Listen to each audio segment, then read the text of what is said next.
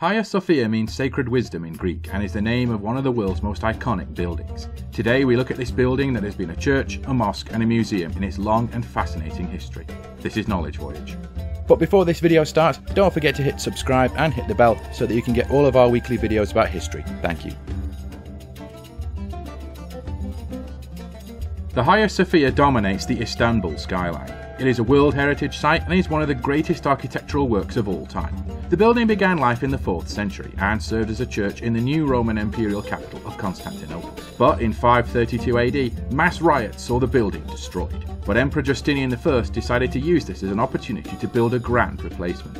At the time, it often took decades or even centuries to complete the cathedral, but Justinian had the Hagia Sophia built in just five years. The church immediately stunned all who saw it, with its grand dome, beautiful mosaics, and exquisite marble floors. It will be the centerpiece of spiritual life in Constantinople for centuries, and was a major center for Orthodox Christianity. In fact, the building was so impressive, pagan Vikings returned from their homes in Kiev after visiting Constantinople and decided to convert to Orthodox Christianity, declining earlier invitations to Catholicism and Islam.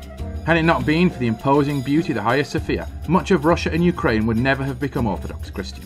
Tension had been mounting between Rome and Constantinople for decades, and during one ceremony at the Hagia Sophia, the Pope's ambassador interrupted a church service, marched to the altar, and slapped a notice of excommunication on the patriarch before storming out.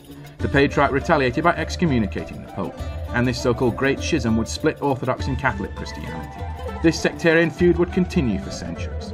The building continued to be a major centre of Orthodox worship until 1204, when Roman Catholic crusaders on their way to the Holy Land decided to sack Constantinople instead. The Crusaders converted the Hagia Sophia from an Orthodox church to a Roman Catholic church, and for 57 years it was a Catholic centre of worship.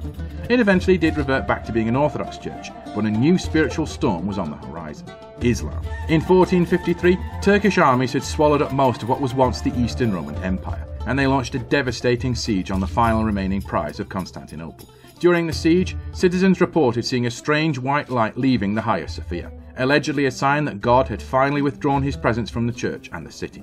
And as Turkish troops broke through the walls, civilians who were sheltering from the siege were slain and abused. Legend has it that two Greek priests crossed themselves, then vanished. And legend has it that one day the church will become an Orthodox church again, and the priest will reappear to finish the service.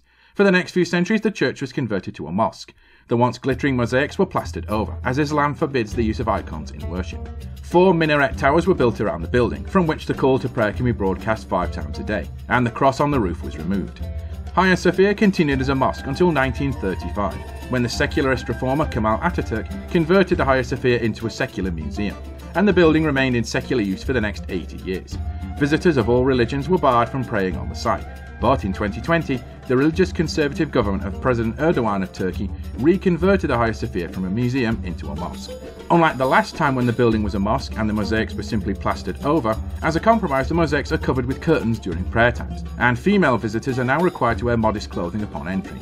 On the flip side, entry to the building is now free.